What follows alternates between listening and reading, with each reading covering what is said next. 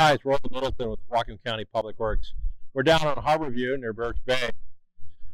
Want to let everyone know that uh, we have a contractor under contract and preparing for the job.